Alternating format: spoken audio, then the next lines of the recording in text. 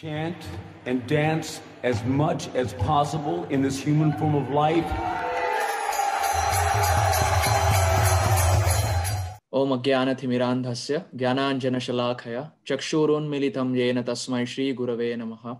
नमो विष्णुपादाय कृष्णप्रेष्ठाय भूतले श्रीमते भक्तिवेदान्तस्वामिन् इति नामिने। नमस्ते सरस्वतीदेवे गौरवाणी प्रचारिणे निर्विशेषशून्यवादी श्री कृष्ण चैतन्य प्रभु नित्य श्री अद्वैत गदाधार श्रीवासादि गौर भक्त बृंद Hare Krishna Hare Krishna Krishna Krishna Hare Hare Hare Ram Hare Ram Ram Ram Hare Hare Hare Krishna so few days back the last month to be precise we had the most celebrated pastime of Sri Sri Radha Damodar the whole month of Kartik is celebrated because of this pastime of course various pastimes took place, but the most prominent that took place is the pastime of Mother Yashoda binding the small waistline, small belly of, of the Supreme Lord as Sri Krishna. So Dam means rope and Udara means the belly. So that Lord whose belly was bound with ropes is called as Damodar. And as far as this pastime of Damodar is concerned, we have heard so many commentaries of so many predecessor acharyas, Srila Prabhupada, uh, Vishwanath Chakravarti Thakur, Sripad Harisuri, and so on and so forth. And there are so many different unheard meanings and connections that arise from this pastime. Apart from the various commentaries and stories that we have heard, there is one very nice history that comes from the south part of India, the southern part of India, as far as the pastime of Damodar is concerned we all would have heard of the sage Vasishta, Vashishta Muni, very famous sage from the south part of India. So once Vashishta Muni was sitting on the banks of river Kaveri. And uh, just like we have when we go to Mayapur, Ganga is the most prominent, most worshipable. And likewise, when, when we go to Vrindavan, Yamuna is the most worshipable. Likewise, in the south part of India, Kaveri is the most worshipable, especially as far as the farmers are concerned it is the river Kaveri that flows into their fields and nourishes their crops. So Vashishta Muni was sitting on the banks of Kaveri, and then when he took his bath and came out like a proper Brahmana, he was starting to do his mantras. So he was chanting his Gayatri, and when he was closing his eyes, he was meditating upon the Supreme Lord. And it is said that Vashishta Muni had a very beautiful Shaligram Shila. We see even today, there are devotees who have deities, and then we have devotees who worship Shaligram Shilas that are found in the Kali Gandaki River in Nepal. So Vashishta Muni had Shaligram Shilas, and in his meditation, he was offering different paraphernalia for the Supreme Lord. So he was doing mental meditation, mansik, to the Supreme Lord. And it is said that in his mind, he offered a very nice throne bedecked with jewels like emeralds, rubies, gold, silver, and so on and so forth. So Shaligram was in his mind placed on a nice jewel throne, and he was worshiping the Supreme Lord that way. And in his mind, he offered a nice Tulsi garland. He was offering Ganga water, he was offering Kaveri water. Everything was mansi going on in his mind.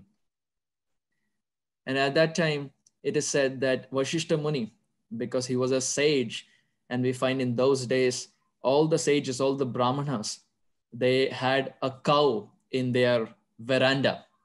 And Vashishta Muni was no exception. So he had a cow by the name Nalini. And this cow, Nalini, was a Kamadhenu cow, a wish fulfilling cow. So, because of the presence of Nalini, the Kamadhenu cow, he would get everything that he desired. So he would get the milk, he would get honey, he would get butter, he would get ghee, and every day he would do nice Panchamrit Abhishek for his Shaligram deity. And this went on for many days. And as we know, Vashishta Muni's most noble wife by the name Arundhati was there with him. So one day it so happened that she had prepared fresh butter and she gave butter to her husband noteworthy husband, that is Vashishta Muni. And when Vashishta Muni got the butter, he did not have the intention of exploiting the butter for himself, but he was so great that from that butter, he made a deity form of Sri Krishna. So, just like we have in, in the pastimes of Jagannath, we have a famous personality by the name Dasya Bauri, who everywhere could just see the eye of Jagannath. Likewise, Vashishta Muni, even in that butter, he made that butter, he transformed that butter into a beautiful small deity form of the Lord and then he would worship that deity butter form of the Lord. So it so happened that once in his mind, when he was worshiping, uh, this small boy in one of the neighboring from neighboring villages, he happened to cross by, and when he passed through Vashishta Muni, Vashishta Muni's eyes was closed, and this boy was very small, and naturally, what small children they see something to eat, they desire in their heart this increases. It's it's an unstoppable temptation. This boy was no exception. So this boy, uh, when he saw Vashishta Muni's eyes was closed, he slowly sneaked in to his ashram. And in front of Vashishta Muni, he was with his small baby hands, he was eating the butter that was there. And now, dear devotees, just to remind, it is not normal butter, but this butter was made into a form of Sri Krishna. And this small boy, he did not know what the importance is. So he was eating this butter form of the Lord. And now when Vashishta Muni opened his eyes, it was a thunderbolt to his heart. His, his Lord of his life was being eaten by a small child. Now we see as far as deity worship upachars are concerned, the level of purity that has to be maintained is very high. What to speak about shaligrams, the level is way higher than even deities. We constantly keep doing achamans. Uh, when we visit the washroom, we take a bath, so on and so forth. So for deity worship, the level of purity that has to be maintained is very high.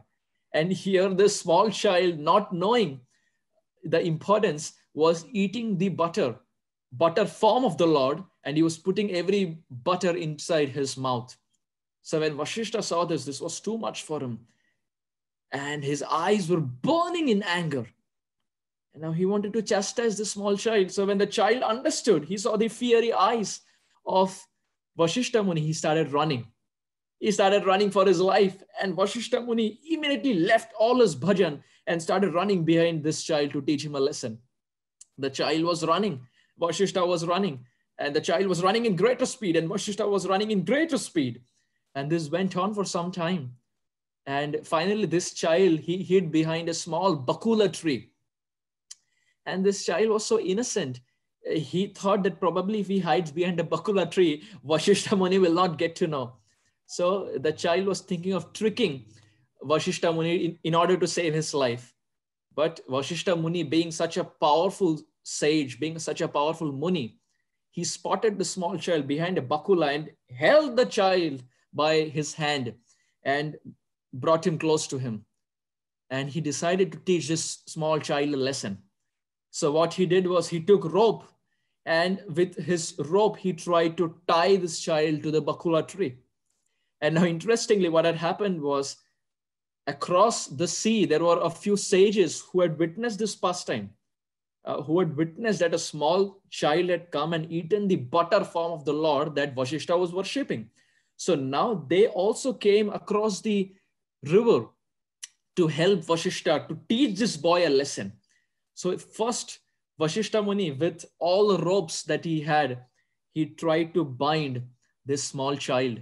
And every time he would try, the rope was two fingers too short.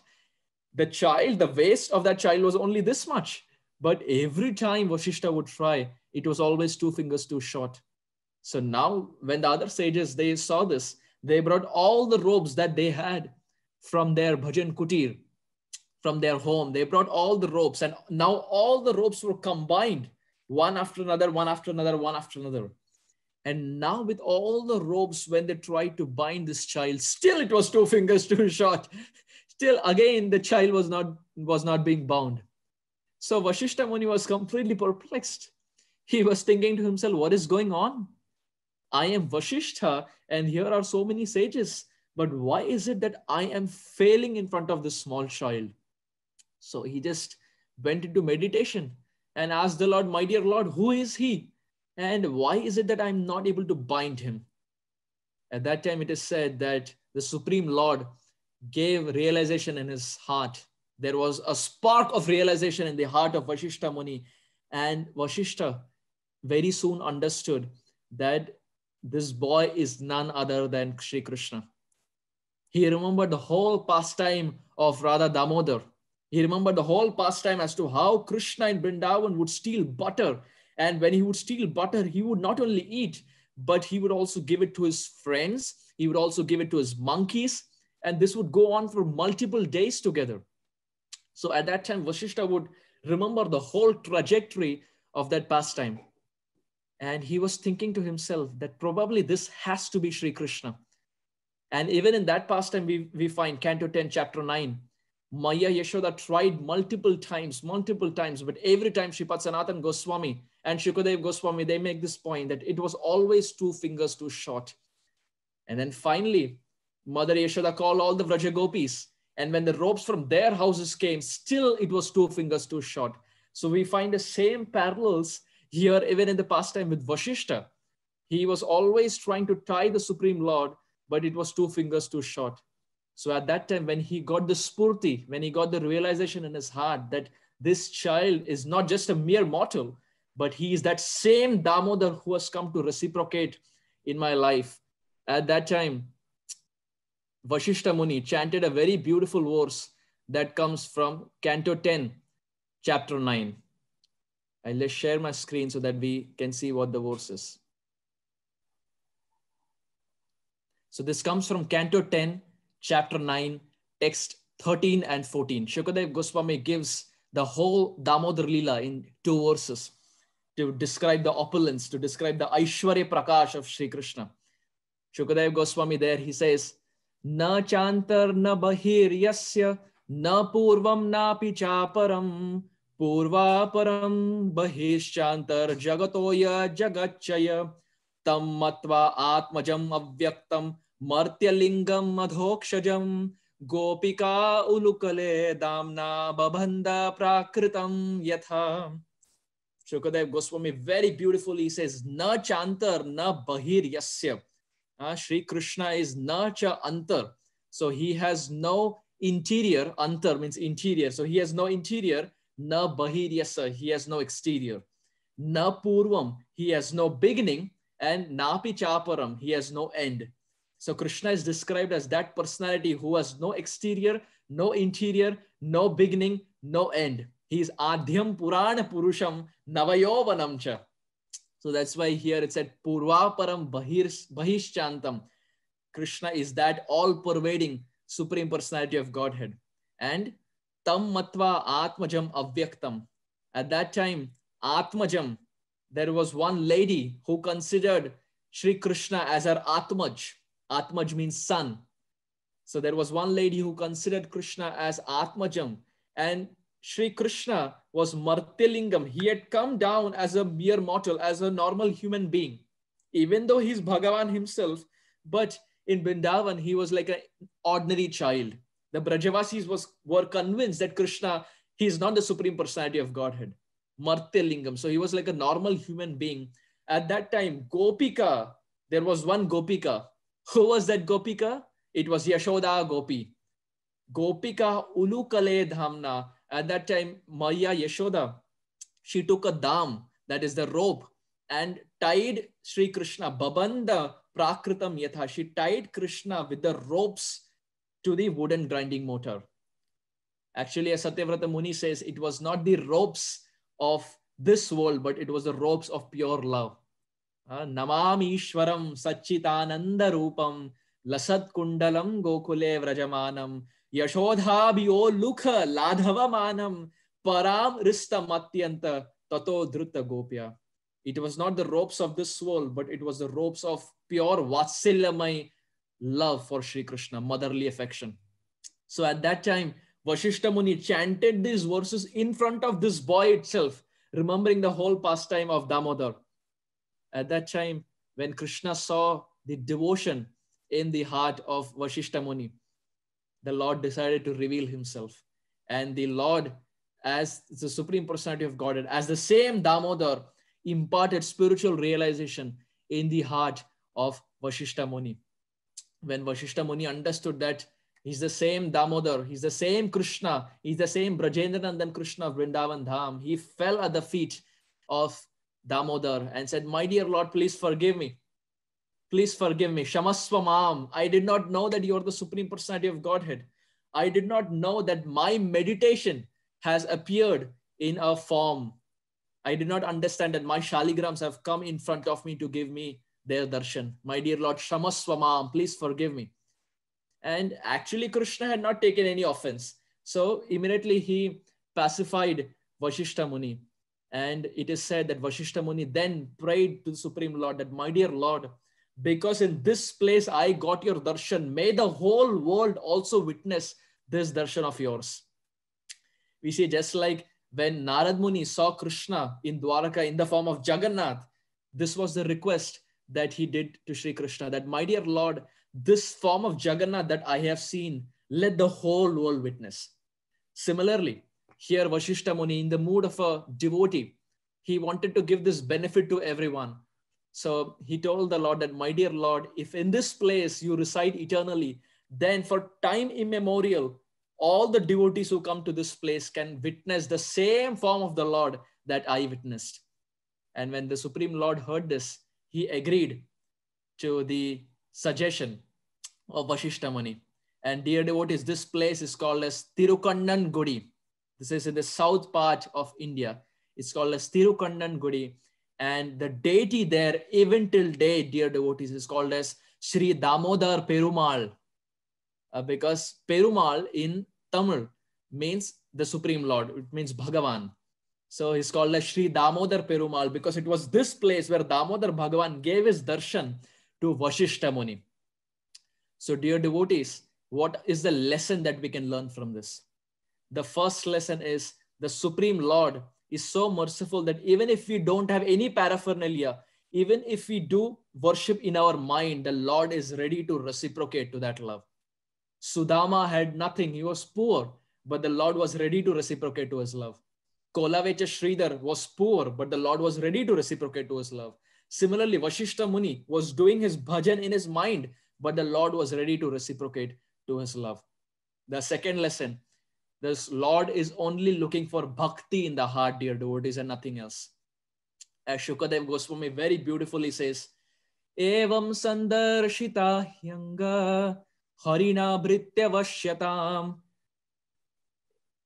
He says, Shukadev Goswami makes this point that Evam sandarshita hyanga harina vasyatam. The Lord becomes bhritya to the love of the devotees. So the second lesson that we learn is the Supreme Lord is only looking for bhakti in the heart. And finally, dear devotees, the third and the final lesson is these pastimes that are there on the pages, in the pages of Srimad Bhagavatam, they are not just confined to the pages of Srimad Bhagavatam, but these pastimes are so dynamic. Unlike any novel of this world, pastimes that are there in the pages of Srimad Bhagavatam, they're so dynamic that even though they occurred 5,000 years back, and even though we were not a part of these pastimes, the Supreme Lord, for his sincere devotee, is willing to recreate this pastime again. Even though he performed Damodar Lila 5,000 years back, for his sincere devotee, the Lord is ready to do that pastime once again, which only means that if there is a pastime that is very dear to our heart, and if we desire to be in that pastime, the Lord for us will again recreate that pastime so that it gives joy and satisfaction to our hearts. In this way, dear devotees, the three lessons that we learn is the Lord, even though if we are poor, the Lord is ready to reciprocate to our love in the form, even in the form of mansik meditation. Second, He is only looking for bhakti in the heart. And finally, the third lesson that we find is the pastimes in Srimad Bhagavatam are very dynamic. If the devotee wants, the Lord can again perform this pastime for the satisfaction of the devotee. In this way, we find that Vashishta Muni, apart from the various devotees who have had darshan of Sri Damodar Bhagavan, Vashishta Muni was one such devotee who had the darshan of the Supreme Lord in the south part of India, in a place called as Tirukannan Gudi, where the Lord is called as Sri Damodar Perumal. Sri Damodar Perumal की जय श्री दामोदर भगवान की जय। हरे कृष्ण।